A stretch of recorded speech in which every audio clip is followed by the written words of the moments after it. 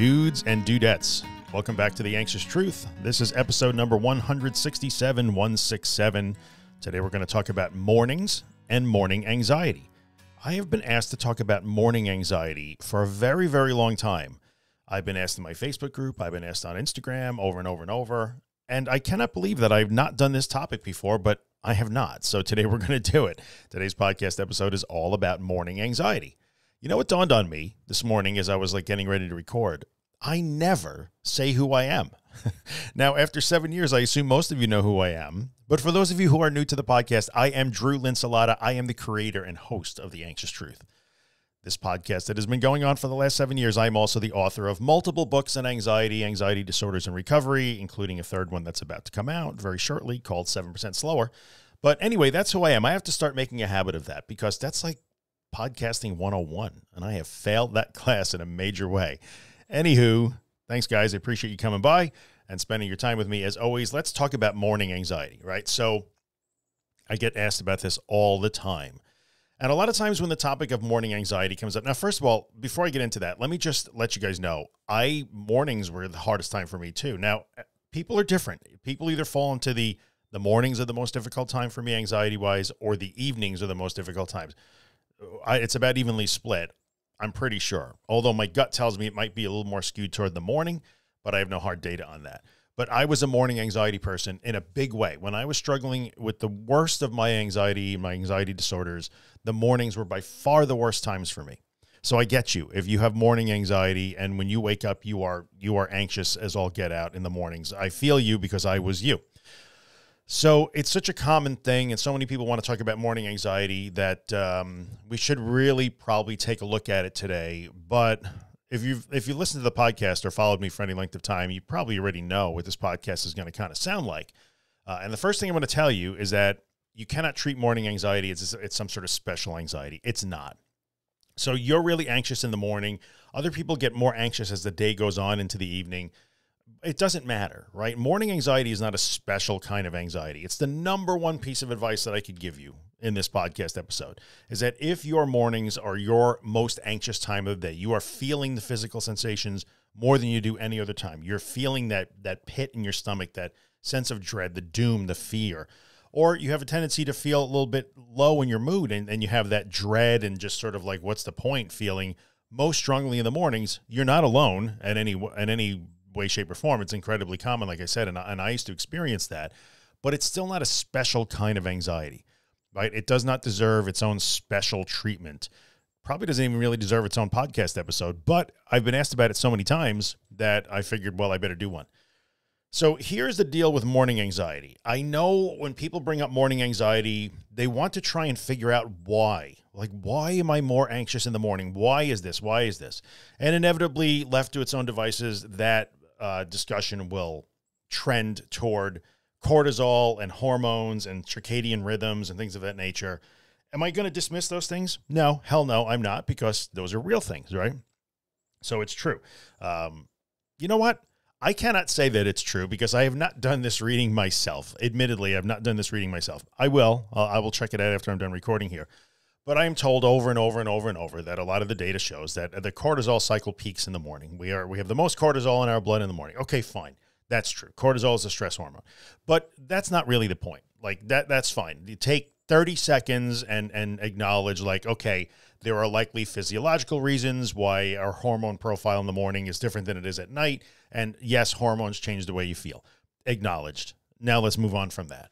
Because it's not cortisol that is your problem it is simply not. Morning anxiety is not a cortisol problem. I mean, in the absence of some sort of endocrinological endocrinol I can't say it. Some kind of problem with your endocrine system, right? An actual hormonal problem. Well, I really flubbed that in a big way, but I don't edit these, so there you go. In the absence of some sort of real physiological issue that's impacting your hormone profiles, which is pretty rare, right? It's pretty rare because I know that like 8 zillion people with panic disorder and agoraphobia and associated anxiety disorders are convinced that they have some sort of hormonal and, or endocrine problem, but they wind up not having it, right? So it's pretty rare. But in the absence of an actual physiological issue, your body is the same as everybody else's, right? So everybody's cortisol levels are higher in the morning. everybody's you know everybody goes through those circadian rhythms and, and i know everybody kind of settles into their own but we all have similar looking rhythms regardless of how they may be time shifted throughout a 24 hour cycle so you can't look at morning anxiety from a physical standpoint like well what can i what can i eat at night or what can i do at night or what can i eat first thing in the morning or what can i drink or what can i do to bring my manage my cortisol level that's that's not it at all that's not it at all Morning anxiety is not a physical problem, just like the rest of your anxiety disorder is not a physical problem. You feel it physically, right? We always acknowledge that you feel anxiety physically. Podcast episode number one, all the way back in 2014 anxiety is physical, anxiety disorders are cognitive, right? So I'm in no way discounting the fact that you literally do feel more anxious on a physical level. And along with those physical things come all of those feelings of dread and, and the fear and all that stuff. I get that. That is real. You do feel it more strongly in the morning. However, it doesn't make it a body problem or physical problem. The story with morning anxiety is that it starts to become a self fueling thing, right? And so when you go to bed at night, and this was me, and this is an almost universally told story, you begin to dread the morning, right? You dread the morning. For me, I can describe my own experience was I would wake up and my sleep patterns, I'm a terrible sleeper as it is, but in those days, my sleep was really a mess. Excuse me. And I, I would kind of go to bed at night and I would, you know, I, I would doze off and I'd sleep a little bit here and there and it was broken and it was crappy sleep and all that stuff and no problem. But, you know, that's, that's the way it was for me. And, but I would dread the morning. Like when I fell asleep finally, it would be like, oh, please just let this last for a while, right? Just please let me sleep all the way through. Then I would open my eyes. It would be like two, three o'clock in the morning. I would struggle to go back to sleep. It was rough. And then as I laid there, and you know, I might doze off a little and wake up again the anxiety would begin to build and build. And this may be a familiar story to me, to you guys, right? So this was my experience. It may be familiar to you too. I've heard this story from many, many people. The anxiety would begin to build, the sensations, the dread, the, the twist in my stomach, all of that would begin to build as those wee hours of the morning, you know, kind of moved on. And then it was 3 a.m. and then it was 4 a.m. and then it was 5 a.m. And it was starting to get a little closer to like the time that you're supposed to really wake up and start your day and go to work and all that stuff. And I would get more and more anxious. I would get more and more anxious. And then I would have to drag myself through the day. And what I started to notice as I was doing my recovery work is yes, it was true that as soon as I hit like the early afternoon, I would begin to feel those things lessen in intensity, not go away, not go away, but it would begin to lessen. And by the time the evening rolled around, my anxiety level was lower, noticeably lower, not gone, but noticeably lower. So that was my rhythm. That was my rhythm. But I was fueling it also in a big way because then came late night, which was really my time and still is. I'm a late night person. Uh, when I would hit the late night period, I would begin to dread that the cycle was ending and it was going to start again. So I was convinced that like, oh, I'm so screwed here. And I really, I really would fuel it. So at night before I went to sleep or tried to go to sleep, I would already be priming the pump of, oh my God, tomorrow's going to be terrible. I can't, I hate the mornings. I hope I, maybe some miracle will happen. I won't feel anxious when I woke up. I would go through all of those things. And I tried a bunch of different rituals. Now, some of them were sleep related. I did magnesium powder at night. I did a sleep mask. I did binaural beats. I did, I mean, I did about 15 different things to try to like wake up feeling calmer or not as anxious. And none of them worked. Like zero, none of them worked. I was convinced that a bunch of them worked for a while. I thought wearing a sleep mask was the thing, man. Like I, I bought a sleep mask and I was like, this is it, man. This is it. It's light. I know it's light because if I if I see any light, like even through my closed lids, that's what's ruining me. Eh, that turned out not to be it. The binaural beats, I would put the, my head, my earbuds in and like listen to binaural beats, you know, and you can, you could Google that if you really want B-I-N-A-U-R-A-L binaural beats. You could Google it if you want. It's not a thing. It's just not a thing. And, and maybe you're going to disagree with me. Go ahead and do that. But I'm telling you, it's not a thing. I thought that would do it. I would listen to white noise to try to go to sleep. Anything I could to try to get myself to go to sleep and not wake up anxious. And none of it worked. None of it. So here's the, here is the deal with morning anxiety. It just is. It's not a special kind of anxiety. It just is anxiety. That's it. Like you're experiencing anxiety, and that's the way it goes. Trying to dig to figure out why it's like that in the morning. I must know. I'm the type of person that must figure it out. You're going to have to abandon the I'm the type of person to figure it out thing because you're not going to figure it out. If you're listening to this podcast, it's not because you're sort of mildly anxious once in a while in the morning. It's because you got a serious anxiety problem in the morning. That's why you listen to this podcast. And so, you know, the uh, hanging on to like, I got to figure it out. I'm going to research it. I got to know, like, why is it? It's cortisol. How can I micromanage that? Like, what different foods can I eat? No, you're going to have to drop all that stuff on the floor because it's not going to help you. And it's just going to fuel the, the frustration of why can't I figure this out and get away from it, right? Been there, done that. So have about a zillion other people. Trust me, they've been there, they've done that. And I know many of them personally who are podcast listeners and members of my social media community who have figured out that they have to stop trying to figure it out. And that is starting to get better for them over time. So as you progress in your recovery overall, your morning anxiety situation will get better. Now, why will it get better? Because you're you're somehow knocking down the the sensations and symptoms and thoughts that come with anxiety in the morning? No, not really. But you are becoming better at relating to them and not declaring disaster. So here is how you deal with, right? Everybody's going to how do you deal with morning anxiety? I just it's just so terrible. How do I deal with it? Deal with it, handle it, overcome it. Like everybody wants to deal specifically with morning anxiety. Here is the deal. Here is how you can deal with morning anxiety. Make yourself a morning routine. Like it is the best advice I could give anybody that is dealing with morning anxiety. It's it's one of the foundational parts of recovery in general, morning anxiety or otherwise. Like whenever I I you know get asked, I'm going to tell you build a morning routine. So if you're listening to this podcast and morning anxiety feels crippling to you, when you're trying to wonder, you're wondering like, what is it? Why can I, how can I get rid of it? How do I overcome it? How do I handle it? How do I deal with it? Get yourself a pen and a piece of paper or whatever you want to do when you're done listening here and build yourself a morning routine. And that morning routine is the way you're going to start the day tomorrow, no matter how you feel.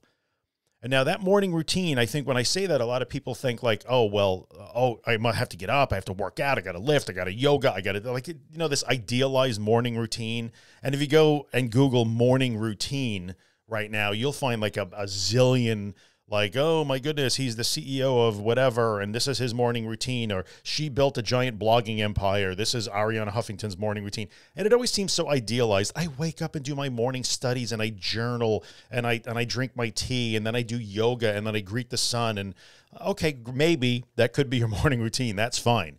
But I'm telling you right now that your morning routine does not have to be glamorous, idealized, or even anything in particular. Let me tell you what the good components of a morning routine are if you're dealing with morning anxiety. Going to the bathroom, um, washing your face, brushing your teeth, dragging a brush or a comb through your hair, putting on something that isn't like the t-shirt that you slept in, um, drinking a glass of water, having an orange or a banana or something to eat, feeding yourself, sitting upright instead of laying back down again, maybe taking a walk outside and sitting on your front steps, uh, or walking around your garden. Like, does any of this sound like, you know, some sort of life changing advice or some idealized, like, oh, I journal and I do yoga? No, like, it doesn't have to be that. I, I would tell you that if you're dealing with morning anxiety, the very first thing you have to do is resolve to the, just be resolved that you will feel that way tomorrow morning. That's just the way it's going to have to be. This is how I feel in the mornings right now but I don't have to be ruled by that anymore. I don't like it. It's not pleasant. It doesn't make my mornings easy but it does not have to be debilitating in the morning. You allow it to be that, right? So you're going to have to drop that stuff on the floor. My morning anxiety is debilitating. All I could do is lay in bed. And that's not true. I used to think that too until I realized that laying in bed, dreading the day, dreading the day, dreading the day was part of what was really amping up my morning anxiety. Dreading the day was a really big part of my morning anxiety. Then most people, when they start to do this work and they look back, they say, oh yeah, that, that was it. It had nothing to do with cortisol. I mean, cortisol is part of the equation. That's not news. But my morning anxiety was not fueled by some sort of malfunction in my cortisol system. It, it wasn't at all. Like what was fueling it was dreading the morning anxiety itself the night before and then laying there just ruminating and marinating in how I felt and just being entirely focused inwards and how I felt and how horrible it was and how I hated it and dreading the things that I knew were ahead of me in the day which at the time were just very basic, like I just got to live my life, and it felt impossible. So that was fueling, absolutely fueling all that morning anxiety, way more than any physical, underlying physical concerns about, about the morning and what makes the morning special physiologically. So I made a morning routine. I'm gonna I'm gonna urge you to make a morning routine, and this is helpful in all of recovery for people who don't aren't even anxious in the morning. The thing you cannot do is to simply lay there do not lay there. Do not just ruminate on it. Do not dread the day. Do not marinate in how you feel. That is so passive, and it doesn't have to be. and declare yourself crippled and debilitated. So when I would wake up, the first thing you have to do is say, I'm going to feel this way. That's the way it's going to have to be. But I will not be controlled by it anymore. I will start the day by accomplishing some things. And I don't care how small those things are, they need to be accomplished and it will start to make a difference. So for me, my morning routine was literally sitting upright and sitting there for like 10 or 15 seconds and trying to like not feel like I was on a boat because dizzy was, you know, or not dizzy, but disoriented and that sort of disequilibrium feeling was one of my primary anxiety symptoms. And so I would lay there in one position in the bed as if I was experiencing sort of inner ear problem, which I was not. I was, was did not have room spins. I was anxious and I was trying to like just be still so that I didn't have to feel that that boat feeling so much. But what changed a lot of things for me was the very first thing I would do is when I opened my eyes and decided, okay, I'm I, I tried to go back to bed. I can't. I can't fall back asleep. I'm getting up now. Instead of laying there and, and just marinating in anxiety, I would get up put my feet on the floor. And it was unpleasant to get up and put my feet on the floor, but I did it. And I would sit there for 10 or 15 seconds to just sort of get my bearings. And then my morning routine was literally getting up and just taking one step at a time toward the bathroom and just taking care of very basic, like human hygiene. You're going to get up in the morning, odds are you have to use the bathroom. So go use the bathroom. That's that's a goal. Boom, you did it that might sound ridiculous and it has nothing to do with like an idealized morning routine, but it matters. You got to do it. So you do it. And instead of like, oh my God, I barely made it to the bathroom. No, I, I went and used the bathroom because that's what human beings do when they wake up in the morning. I splashed some water on my face. That was unpleasant because I was shaking at times, right? My heart was pounding. I felt off balance, like, you know, like I was going to bounce off the walls. I was going to fall over. I never did. So I wasn't truly dizzy. It wasn't vertigo. I was anxious. You know, my stomach was in a knot. All of those things, all of those things. But I splashed some water on my face. I dried my face with a towel. I picked up a brush. I ran it through my hair. Didn't look good. Didn't look good at all. I don't have good morning hair no matter what, anxiety or not. You know, I, I would brush my teeth. But what I did is I learned to do, I would, I would then drag myself out of the bathroom one slow step at a time and like put on something, something. And it didn't matter what it was, pair of sweats, uh, it didn't matter. I just would change. So I wasn't just like in my pajamas or whatever, whatever happened. Like I don't wear pajamas, but you know, a t-shirt, whatever it was. Like I would change. I would do that. I would accomplish that. And then I would, you know, move myself through the house and drink. I would literally drink a glass of water. I would sit at my kitchen table and just try to breathe for a little bit. And for me, I would get out and do my exposure work the very first thing in the morning.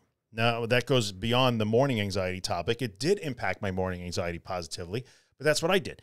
So instead of the morning being a time of dread where I felt like I was being just sat on by the anxiety monster and I would passively sit there and let him do it to me, I started taking control of my mornings in tiny little what seeming would be like insignificant steps, uh, like brushing my teeth. Brushing my teeth holds a special place in my heart to this day because it was one of the key things that helped me break that morning anxiety cycle. So get up. When you awake, get up. Claire Weekes said, rise upon waking, right? So get up, do not just lay there. And definitely, now Claire Weekes didn't have to write about this because there was no such thing, but do not just wake up, grab your phone and doom scroll through social media. That is not a good thing to do. Right? So get up, put your feet on the floor, take care of some, whatever personal hygiene stuff you have to do, put some clothes on, get yourself into your kitchen, make yourself a cup of tea, a cup of coffee, drink a glass of water, leaf through the, the newspaper. Listen to me, like like anybody has a newspaper anymore. I'm old. Sometimes it feels old. I'm really not, I promise.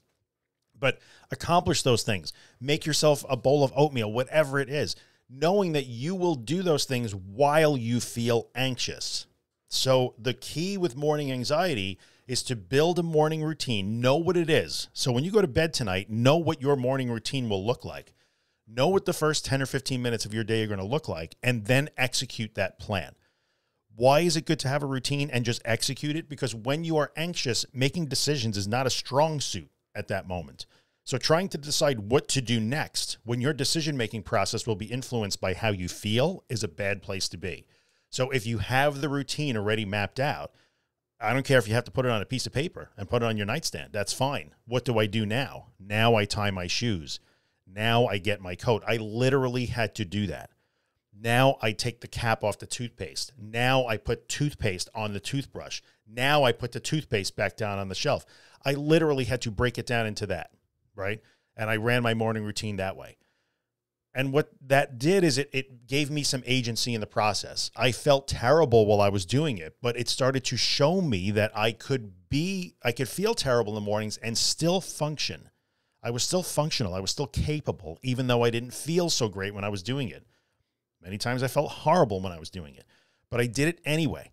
And with time and repetition, the morning still was a more anxious time for me than the rest of the day. That's just the way it was for a while, but it was much more tolerable, manageable, handleable, navigable. And yes, over time, that then that starts to bleed into the rest of my recovery. And then over time, I stop dreading the morning. So now the dread of the night before disappears. I don't dread it anymore because I know how the morning is going to go. It's not some brand new kind of hell every morning. I know how the morning is going to go and I'm in charge of it. So in terms of morning anxiety, you, what you, the overall concept here is you got to drop the passive approach, stop trying to figure it out and get active in the morning. Like build a routine, know what it is so you can execute it mind, mindlessly without having to make decisions in the morning and then do that. I don't care how small those tasks are and how ridiculous they may seem to you, they matter. Like literally putting on a clean pair of socks matters. It does like eating a banana matters, right? We hear about things like self care all the time.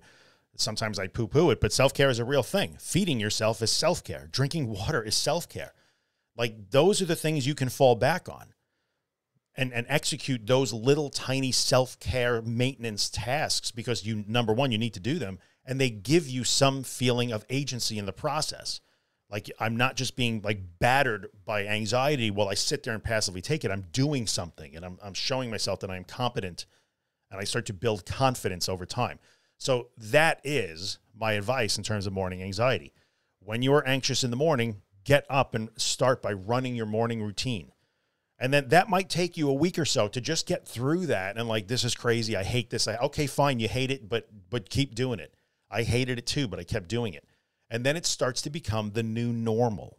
That becomes the new normal for you, as opposed to laying in bed, dreading the day, marinating in anxiety, doom scrolling on your phone, not wanting to get up. And then, you know, 10 a.m., 11 a.m. hits, you're still in bed and you're, and now you hate yourself because I did it again. I did it again. I avoided, I hid under the covers. I'm avoiding. I know I'm not supposed to avoid. So that is how you deal with morning anxiety.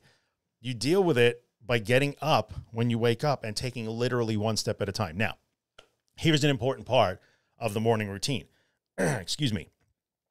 An important part of the morning routine is to do it slowly. Slowly. This isn't a plug for 7% slower, although it is a good book. I'm not going to lie. I'm getting better at that, aren't I? But um, do it slowly. I had to learn to do that. At first, I was running through my morning routine because I was anxious. And when you are anxious, you will speed up. It is the natural response, right? When you are anxious, you will try to do everything quickly. You will you will tense up your muscles and coil your body up like some sort of spring. Like so you have to practice doing every little tiny bit of your morning routine, every step you take toward the bathroom, every every stroke of the brush through your hair, every up and down of the toothbrush has to be done slowly. And you have to keep relaxing, relaxing your body, relaxing your body. You can relax physically even though you are not calm. This is a key thing that you have to embrace. You can be physically relaxed even though you are not calm. Relaxation and calm are actually two different things in our context. So keep relaxing your body, letting the tension out, and slow down and honestly, the origins of 7% slower, the book that I wrote is about to come out, came from then. I would have to remind myself, slow down, slow down, slow down. And I came up with that little mental trick of like trying to go 7% slower because it just kept me focused on the idea of going slower, 7% slower. Can't go 7% slower. You don't have a calculator, can't measure it. But it was just a way for me to remind myself to slow down through my morning routine.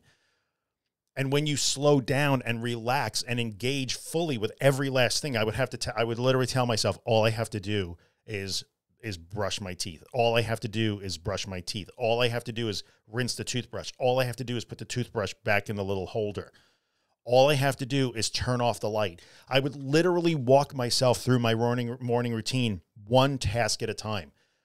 And I would not allow myself to fall back into, I'm, I, am i am so afraid. I hate this. I don't want to, oh my God, I have to go out. No, all I have to do in the entire world right now is put on my left sock And then I would do that slowly and as in a relaxed and, and engaged way as I could. And then I would put the other sock on, then I would put on a shoe.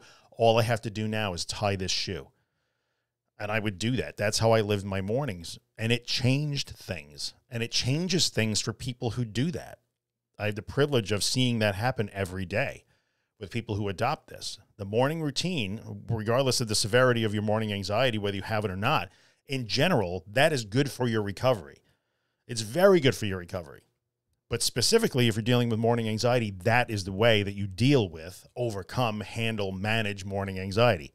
And over time, the dread of the morning begins to drop. And when the dread of the morning begins to drop, and when also at the same time you see that you can start your day in control of some things and show yourself a little bit of competence, right? And strength and ability and resiliency in the morning, well, what lies ahead of you during the day doesn't feel quite as daunting. And that is the stuff that over time starts to change that anxiety profile in the morning. Is it changing your cortisol level at 5 a.m.? Well, like maybe it is. I guess it is. But that doesn't enter into it in the end. Maybe your cortisol level stays the same, just that you don't react to it the same way that you used to when you would claim that you were crippled by morning anxiety. So, morning anxiety is about becoming active in the process instead of being passive, moving, behaviorally activating, and running that morning routine slowly. And here it comes here's the word mindfully. Because when you stay focused on all the little tasks, every stroke of the brush through your hair, you know, the toothpaste, the water, like this morning I made tea. I don't usually make tea, but I made tea this morning for whatever reason. These are habits that stay with me now in the morning. Now, I didn't have any morning anxiety this morning. I mean, have a lot of things on my mind this morning, so maybe a little bit more uh, emotional the last two days than I normally would be. But that skill that I developed in the morning lives to this day, 10 years later, 15 years later. I can still fall back on those. It's automatic. So when I made my tea this morning, just like when I make my coffee, it's there's almost it's almost meditative, right? So I can sit there in my kitchen and allow my brain to race forward in the day and think of all the things I have to accomplish in my to-do list and the people I have to talk to. And oh my God, and this, and I forgot to do that. I'm behind on this project. Or I can literally just focus on the sound of the water boiling in the kettle. And then I could just literally focus on pouring that water into that cup. Then I could just steep that tea for a minute. I give myself a minute to just focus on the tea bag.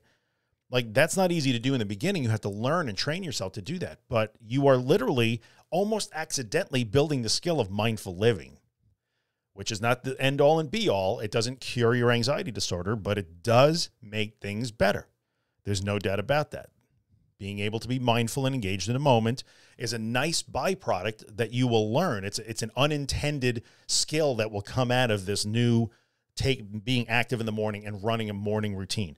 Now, over time, your morning routine may get more complex and it may just start to run into the rest of the day so that you don't even really feel like it's a morning routine anymore. It's just the way you start the day and it will start to meld into life, right? So in the beginning, everything feels like recovery, but then over time, recovery becomes life and life becomes recovery. I wrote about that in The Anxious Truth. So this is how you do it. This is how you do it. Make yourself a morning routine. I don't care how simple it is, but plan out those first 10 or 15 minutes of your day and then execute those 10 or 15 minutes slowly, mindfully, in a relaxed way, even though you don't want to, and even though it feels crappy while you're doing it you have to show yourself starting first thing in the morning that, you know what, I, I'm functional even when I'm anxious. And that helps turn the tide away from, oh my God, all bets are off because my anxiety. All bets are off because my anxiety. You got to abandon that because that's not helping you. It is keeping you glued in the morning anxiety cycle, which then starts your day in the, in the shittiest possible way. Right. So when I would just lay there and ruminate and marinate in my feelings and like my, angst, my anxiety, yeah, the rest of the day was a lot harder and believe me, it started to get to the point where I would open my eyes in the morning and I would literally think to myself, well, here it is, because I was still feeling it in those early days. But I knew experience was telling me, you know what, by one or two o'clock, it's going to start to wane. And sure enough, it would, because that was just my pattern. And it was a lot easier to accept that, like, this is a temporary situation right here. And I would move through my morning routine and then I would go out and do my exposures. And that's a different story from another time. You've heard me talk about my driving exposures in the morning but it made a difference in the day. It really did. It made a huge difference. And I, I believe firmly that it can make a difference for you too at some scale, maybe small, maybe really impactful. But in terms of morning anxiety, that is your strategy. You got to forget trying to figure it out, forget the, the physical cortisol part of it, doesn't matter. You have to stop being passive, stop declaring yourself a powerless victim of this monster, and start being active in the smallest possible way. They will matter. Small things add up over time. That's the story of morning anxiety at exactly the 30 minute mark, which I'm pretty impressed with. I didn't plan to do that, but, but here I am. All right, peeps, that is it. As always, I appreciate you coming by, spending the time with me, giving my attention, maybe taking my advice to heart. maybe you do, maybe you don't. But if you keep coming back, I appreciate that. I'm going to ask as always. And by the way, if you want to be able to interact with me, if you go to theanxioustruth.com slash links, you're going to find links to my Instagram, my social media, my Facebook group, where right now I'm most active is in that group. That's most likely we'd be able to interact with me. So theanxioustruth.com slash links, check it out. You'll get all my, my stuff there to go. If you want to talk about this sort of thing, we're building a new thing too. It's going to be really awesome. Talk about that later. And uh, and yeah, there we go. So as always, I will ask a favor, and that is if you are listening to this podcast on iTunes or any platform that lets you rate or review the podcast, leave it a five star rating if you dig it. I assume you do because you're listening, and then maybe take another minute or so to write a short review, even a few lines helps other people find the podcast because you know algorithms, and that's why I do this to try and help as many people as I can. I will play you out with some music by my friend Ben Drake.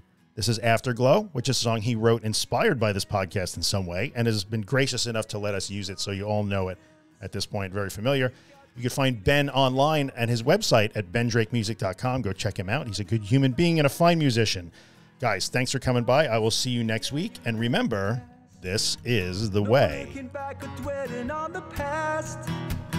know you'll never get another chance. So go and live your life. Pressure like an atom bomb. You keep on dancing like it's your